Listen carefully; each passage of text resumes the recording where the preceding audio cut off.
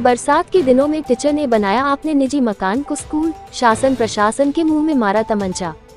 नमस्कार, खबरों की दुनिया में आपका स्वागत है और आप देख रहे हैं जी सेवन न्यूज़।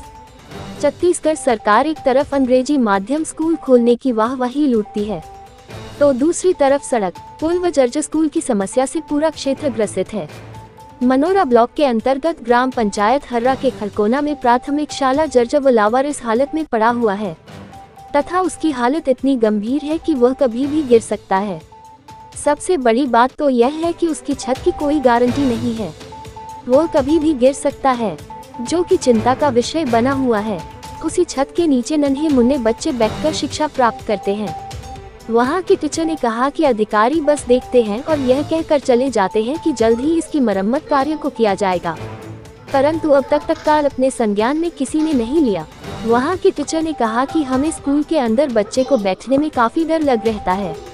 कारण यह है कि छत कभी भी गिर सकती है। बयूर प्रमुख गुरजीत सिंह की report G seven news Jashpur आस्था।